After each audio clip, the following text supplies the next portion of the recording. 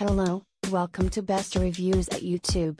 This item has a rating of 4.9 out of 5 stars. A customer wrote, Use this drive to back up an XP ThinkPad and a Win 10 ThinkPad, and experienced none of the issues, so far, that have bothered users of other brands of USB HDDs. Unit is compact, comes with a USB 3.0 cable, works with USB 2.0, was barely warm after 2 hours of continuous use, transferred data at speeds of 150 underscore 170 megabits per second, ran quietly, and was immediately recognized by both computers.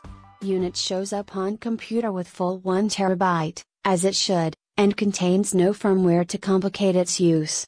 This is basically a 1 terabyte 2.5 and number 34, drive in a well-designed enclosure that can be reused. I use a standalone program for backups and recovery, and number 34, Macrium Reflect, comma and number 34, and it works smoothly consistently. Thank you for watching. Please give the thumbs up.